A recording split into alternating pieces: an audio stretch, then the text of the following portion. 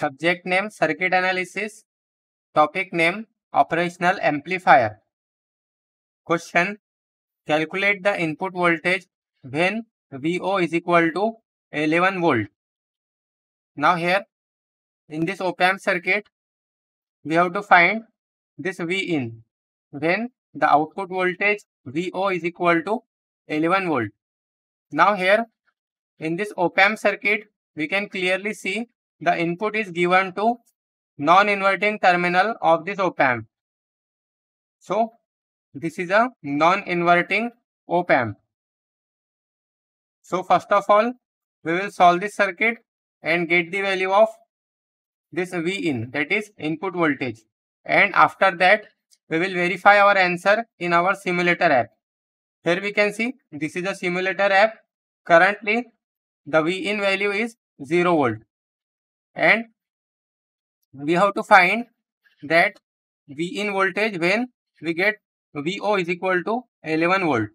So first of all using this circuit analysis method we will find the value of V in and then we will check our answer in our simulator app whether it is correct or not. So solution now there is a formula for voltage gain of op amp voltage gain of non-inverting op amp the voltage gain is denoted by capital A and it is equal to output voltage upon input voltage is equal to 1 plus RF that is feedback resistor upon R in that is input resistor. So here, here we can see this is a RF that is feedback resistor. This is the feedback resistor and this is the input resistor. This is R in. Now we have the value of VO also.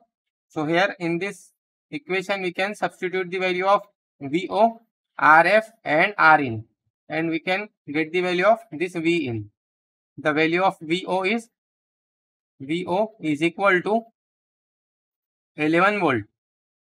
So here we can write VO is equal to 11 volt. So this equation will be like this 11 divided by V in is equal to 1 plus RF is 100 kilo ohm. So 100 100 into 10 to the power 3 divided by R in. R in is 10 kilo ohm. So it will be 10 multiplied by 10 to the power 3. Now here this 10 to the power 3 and this 10 to the power 3 will get cancelled. Also this 0 and this 0 will get cancelled. So what's remain? 11 is equal to 1 plus this will get cancelled, this will get cancelled, this 0 and this 0 will get cancelled. So what's remain? 1 plus 10 divided by here it is V in as it is. Now here this will be 11 is equal to 11 here this divided by V in. Now we can cancel this 11 and this 11. So this 11 and this 11 will get cancelled. So what's remain? 1 upon V in is equal to 1. We can take this V in on right side. So it will be 1 is equal to V in. So we can say therefore V in is equal to 1. Since it is a voltage, so its unit will be volts. So therefore V in is equal to 1 volt. Now we will verify our answer in our simulator app. So here we need output voltage as 11 volt. So this should be 11 and we are getting V in is equal to 1 volt.